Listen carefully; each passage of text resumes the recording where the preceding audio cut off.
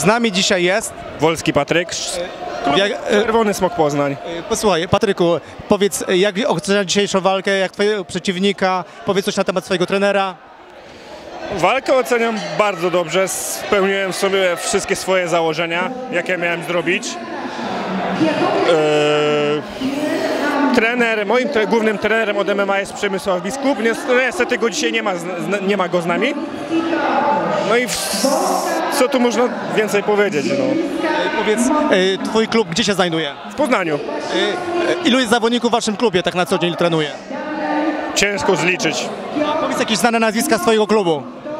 Mateusz Gamrot dzisiaj walczy, więc posłuchaj, powiedz mi plany na najbliższą przyszłość sportową twoją. kolejne starty na razie Gdzie? na mistrzostwach MMA.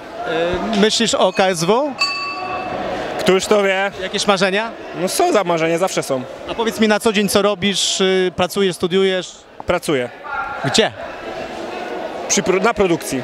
Okej, powiedz mi, czy y, twoi jacyś współpracownicy, czy rodzina cię tutaj dopinguje? Kto z sobą tutaj dzisiaj jest?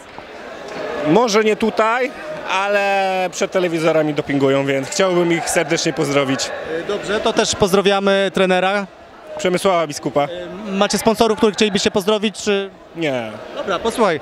Jeszcze raz gratulacje, wszystkiego dobrego i mam nadzieję, że do zobaczenia wkrótce. oczywiście. Dziękuję bardzo.